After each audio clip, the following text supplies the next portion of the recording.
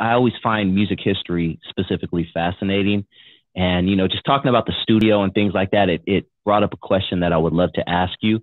But, you know, going back in the day, because we've kind of touched this, touched on this a little bit, but how hard and expensive was it for you to release one song let's say back in what 1982 or whenever you, you started doing your thing. Explain the whole process and how the reels and, and the studio time and all of that.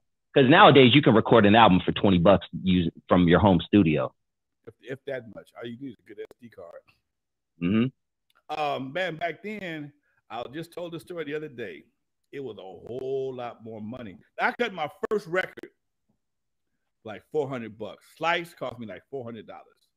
Okay I cut slice on the eight track. And this is 80, 80s money, ladies and gentlemen. This isn't 2020. $400 doesn't sound like a lot. No, right. this is 80s money. This is 80s money. I bought, um, I think slice cost me like 400 bucks to make. I, I rented a LinnDrum. The other had a cousin had a LinnDrum.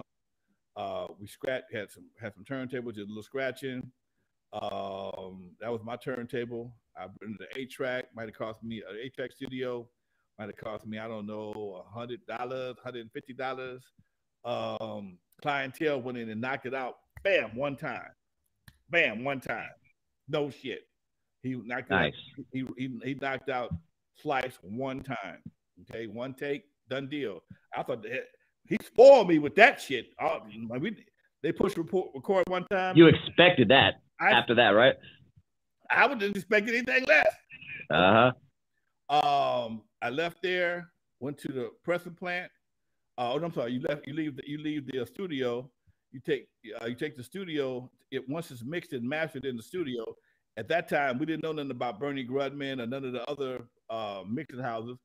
Engine, okay. It was only drums and scratching and a vocal, so it wasn't like it was no major mixing. no reverb on there. Then you take it to the plater. The plater was Richard Simpson on Santa Monica. He charged you hundred dollars aside to no seventy five dollars aside to do your plate. It, it and when you say side, that's a record per side, twelve inch. Gotcha.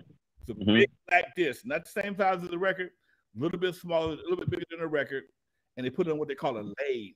Okay, they put your tape in one machine, and they put this. Um, it goes through this process, and this little needle they cuts the grooves in this metal lathe, black lacquer the black lacquer lathe.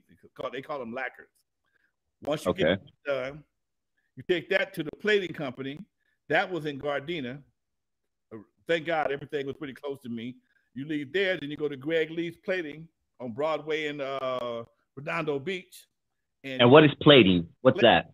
They take the lathe copies, put it in a nickel bath, and then they draw like magnetically draw this um, this this nickel to it, and they make a reverse copy of what they just made in the lathe.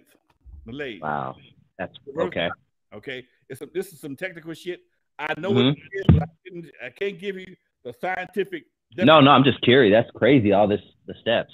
Okay, then from from that you got what they call the uh the the, uh, the mothers. Okay, and the mothers is the reverse of no, you got you got that's the mother. Then the, then they make the, what they call the stampers. The stampers are the reverse of the mothers. Okay. One day, okay, if you remind me, I'll go in my garage and pull out every piece of shit I'm telling you about. I got all that shit. In my oh, really? No shit. All I got the I got the two inch. I got the stampers. I got the mothers. I got damn. Oh, I can I went back and got all my shit from my, one of my labels. I didn't get all my stuff from Macola. I got most of it, but not all of it. But I kept all my two inch masters. I still got I got a, a, a rack full of two inch masters, and I got mothers and stampers, and I got labels. Then once you leave uh, with the mothers and the stampers, you take them to the pressing plant, and they make you what they call a test pressing to make sure that wow. everybody did their job correctly. Because anybody can fuck this up. Mm-hmm. Okay? If the, if somebody bumps the lathe, it can scratch your record. If the process and the stampers and the mother stampers not done right, you fuck it up. You can overcut. Wow. The slightest, the slightest bit of dust fucks up everything. Damn. One speck of dust can fuck up everything. Okay. Mm. So you, then you got to go to um, Max G&M Graphics, um, right next to the Macola, and write out your label, all your label information, where it was recorded, mm. a song, and wasn't no spell check because some of my shit was fucked up back in that day. ain't no computer. This is all done by hand. Yeah. So you're typing and shit, and you, you ain't trying to go back and then yeah. No, you ain't typing. You writing this shit on on a piece of oh, paper and give it to, damn. to him. He was German. His wife was was Latino, and they had to figure out your goddamn handwriting. That's fucking hilarious. This is this is real shit here. Okay. Damn. Did that once you got your labels, you got your test presses, and if the test presses was cool, then you can authorize them to press some records. Okay? Then you authorize pressing records. The whole process from the time you leave the studio to the time you actually have a physical finished record might be seven to 10 days. Yeah.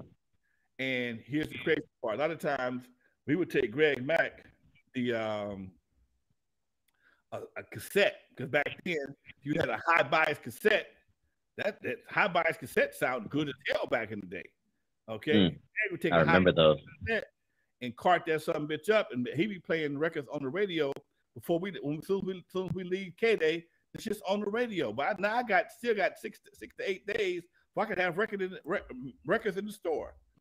It would it would piss Macola off because now everything got to be rushed. Because once once a record get hot, people want it right now, and we we didn't have it right now. So a lot of times they would have to, uh, excuse me, my eye itching like a center them. Uh, a lot of times they would rush it uh, with a white label or whatever the case may be, just, just to get it to the stores. And uh, I do my thing with Cletus and Kelvin and uh, everybody I knew, and still because I, I still could get it to them faster than Macola could get it to them. Because I would grab it off the off the press off the plant off the pressing plant, still hot. Damn, dog. Press, nigga, I'm talking about hot. That's crazy. I'm waiting, I'm waiting there for them to put them in the boxes. Okay, I'm waiting them. For, I'm waiting there. I'm waiting for them to put it in the boxes so I can throw them back. I, t- I snatched mine off before the stores got theirs. And I'm going to see Cletus, Kelvin, Fortune Records, um, whoever else I had on my list, and all the swap meets. So I got that covered, and that was my money right then and there. So, I, so me and my folks can take it, we, so we could eat, and that was the process. That was the process. Yeah. Mm.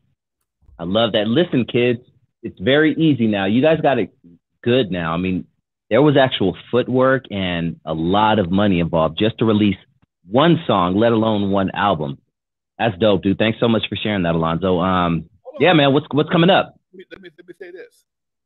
That was one. That was one musician. When we made surgery and juice, we we talking about fifteen hundred, two thousand dollars now per single. Yeah, you get the real saxophones, the real whatever the case is. Well, that, that was surgery and juice. We hired okay. a, a, a, pretty much a one man band, a guy named Daniel Sulfur. He did he had the Oberheim system. And the Oberheim system made all the horns and the drum machines. And if you remember surgery and juice, we got we got to make jackets now. Whole nother whole nother world.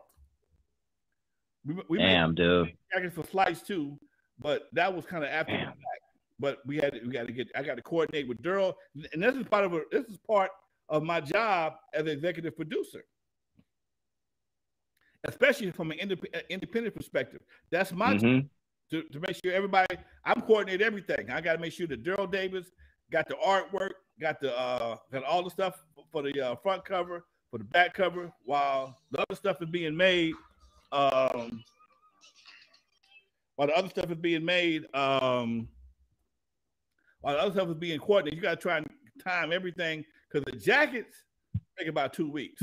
They, they and by jacket, by jacket, you mean the cover of the album, right? For everybody out there. Yeah. What's behind me here? Okay. Yeah, yeah. All the kids out there are like, jacket, the one I wear. Jackets. These are jackets. Girls, all these jackets right here were made by the same person. Okay. One guy made most of the jackets. Battle Cat, House Calls, Greatest Hits, Love Letter, uh, the Mix, CIA, Surgery Juice.